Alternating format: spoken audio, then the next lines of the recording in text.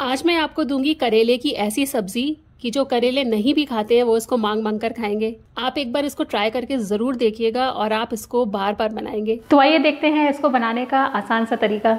इसके लिए यहाँ पर मैंने मीडियम साइज़ के छः करेले लिए हैं और इन करेलों को मैंने बहुत अच्छे से पानी से धो लिया है क्योंकि हम इनके छिलके आज सब्ज़ी में रखने वाले हैं। तो बस अब हमें क्या करना है इनमें इस तरह से बीच में चीरा लगाना है या फिर आप कहें इसको स्लिट करना है और इनको हम हल्का सा खोल के अंदर से चेक कर लेंगे कि इसमें कोई कीड़ा तो नहीं है। और आप देख सकते हैं कि करेले अंदर से एकदम फ्रेश हैं और इसके बीजे जो हैं बिल्कुल भी लाल नहीं हैं। तो जब करेले खरीदें तो थोड़ा ध्यान दें कि वो पके करेले ना हो, इस तरह के थोड़े से हरे और अच्छे करेले हों। तो बस इस तरह से मैंने सारे करेलों को स्लिट कर लिया है और अब मैंने यहाँ पर एक बर्तन में पानी गर्म किया है और इसमें मैं डाल रही हूँ एक चम्मच नमक और आधी टीस्पून हल्दी पाउडर। इनको हम हल्का सा मिक्स कर देंगे और ये जो स्लिट किए हुए करेले हैं, ये हम इनमें डाल देंगे। और गैस की फ्लेम को हमें यहाँ पर फुल पे ही रखना है और इसमें मैं अब डाल रही हूँ पाँच सूखी हुई लाल मिर्च। तो इन मिर्चियों के मैंने बीजे पहले से ही निकाल दिए थे क्योंकि ये बहुत ज़्यादा तीखी थी। इसके साथ ही मैं इसमें डाल रही हूँ आठ से दस कलिया लहसुन की, एक टीस्पून ज़ीरा और साथ में मैं डाल रही हूँ दो टेबल स्पून भर के सूखा हुआ खड़ा धनिया। तो ये धनिया डालना बहुत ही ज़रूरी है, क्योंकि इस रेसिपी में जो धनिया का फ्लेवर आता है ना, वो अमेजिंग होता है। तो बस अब हमें क्या करना है, इसको धीमे हाथों से बस इस तरह से हम मिक्स कर देंगे एक बार, और इसको हमें करीब पाँच से छः मिनट तक अब अच्छे से उबालना है। तो इसको हमें ओवर कुक नहीं करना है मतलब करेलों को एकदम ऐसा नहीं कर देना है कि गल जाए वो। बस इसको फिफ्टी से सिक्सटी परसेंट तक हमें कुक कर लेना है। तो बीच बीच में आप इसको एक से दो बार चला दें, जिससे कि ये चारों तरफ़ से एक साथ पक सके। करेलों को पकते हुए पाँच मिनट ही हुए हैं और इससे ज़्यादा हमें इनको नहीं पकाना, नहीं तो ये ज़्यादा गल जाएँगे। तो बस अब हम क्या करेंगे, आप कोई भी चिमटा ले लें या फिर आप स्पैचुला ले लें, कुछ भी ले लें और इन करेलों को बाहर निकाल लें। और ये जो बचा हुआ मसालों का पानी है, हम इसको छान लेंगे और इसमें से मसाले जो हैं हम अलग कर लेंगे। तो बस अब हम इन करेलों और मसालों को हल्का सा ठंडा हो जाने देंगे और उसके बाद मैं आपको दिखाऊँगी आगे का प्रोसेस तो अब मसाला हल्का सा ठंडा हो चुका है। हम क्या करेंगे? जो ये लाल वाली सूखी मिर्ची थी, इसके हम डंठल अलग कर देंगे क्योंकि हमें इसे पीसना है। और हम इसको मिक्सी के जार में डालेंगे और साथ में हम डाल देंगे बाकी का मसाला भी। इसके साथ ही इसको ठीक से पीसने के लिए हम डालेंगे इसमें करीब दो से तीन टेबल स्पून भर के पानी।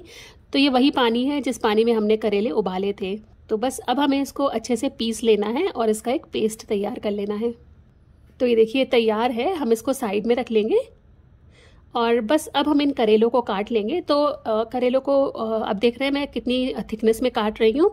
तो आप इनको चाहो तो गोल काट लो, चाहे तो लंबा काट लो जो भी शेप चाहते हैं आप वो काट लो।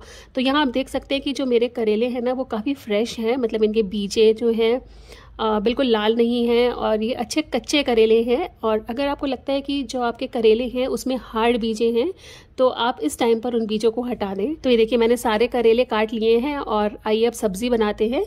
तो ये देखिए, मैंने एक पैन लिया है और इसमें मैंने पहले से ही थोड़ा सा तेल डाल के इसको गर्म कर लिया है। तो आज मैं यहाँ पर सरसों का तेल इस्तेमाल कर रही हूँ। आप कोई भी ऑयल का इस्तेमाल कर सकते हैं। और बस जो करेले हमने काट के रखे थे, हम इनको तेल में डाल देंगे।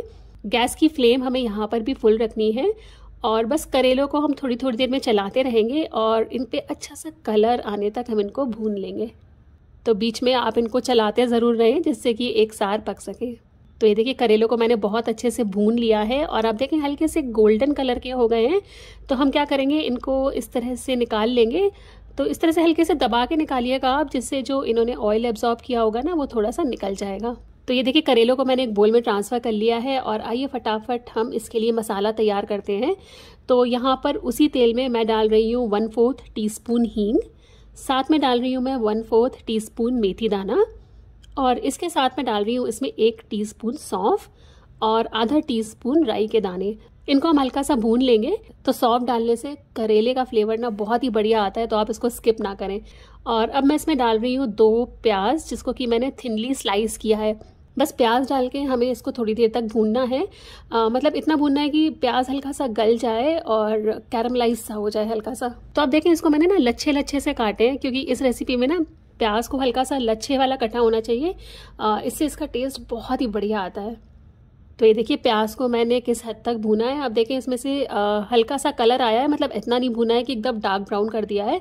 और अब मैं इसमें डाल रही हूँ वन फोर्थ टी स्पून हल्दी पाउडर और इसको डाल के भी हम इसको मिक्स कर लेंगे।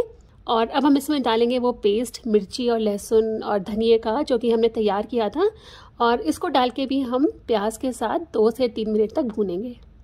तो ये देखिए हमारा पेस्ट जो है, अच्छे से भुन गया है और आप देख सकते हैं कि इसने थोड़ा थोड़ा सा ऑयल रिलीज़ कर दिया है साइड में। तो ये देखिए बिल्कुल तैयार है हमारा मसाला और अब हम इसमें डाल देंगे ये करेले। साथ में मैं इसमें डाल रही हूँ आधा टी लाल मिर्ची पाउडर इसके साथ ही हम इसमें डालेंगे एक टीस्पून भर के अमचूर पाउडर या ड्राई मैंगो पाउडर और साथ में डालेंगे सबसे ज़रूरी चीज़ वो है नमक। तो नमक का इस्तेमाल हमने अभी नहीं किया था, इस स्टेज पे हमें इसमें नमक डालना है। और नमक डालने के बाद हम सब चीज़ों को बहुत अच्छे से मिला देंगे। और अब हम क्या करेंगे? करेलों को ढक देंगे और इस टाइम मैं गैस की फ्लेम बिल्कुल लो पे कर दूँगी और कम से कम इसको सात से आठ मिनट तक हम पकने देंगे। तो ये देखिए, करेलों को पकते हुए थोड़ा सा टाइम हो चुका है और अब मैं आपको इसको खोल के दिखाती हूँ। ये देखिए, लग रहे ना कितने मज़ेदार। और अच्छी बात यह है कि आप इन करेलों को बना के रख लें। ये दो से तीन दिन तक बिल्कुल भी ख़राब नहीं होते हैं। तो आप बताइएगा कि आपको किस तरह के करेले ज़्यादा पसंद है? कि आप कट के करेले बनाते हैं या फ्राइड करेले बनाते हैं या फिर आपको भरमा करेले ज़्यादा पसंद है? मुझे तो करेले बहुत पसंद है, चाहे किसी भी तरह के हो। और जब भी मैं बनाती हूँ ना तो खूब सारे बना के रखती हूँ। जैसे कि मैं दो तीन दिन तक उनको खा सकूँ, क्योंकि करेलों को बनने में थोड़ा सा टाइम तो लगता ही है। तो आप ट्राई करिएगा ये रेसिपी और हमें फीडबैक में भी ज़रूर बताइएगा कि आपको आज का वीडियो कैसा लगा। अगली बार आपसे फिर मुलाकात होगी एक नए वीडियो के साथ। तब तक के लिए टेक केयर एंड बाय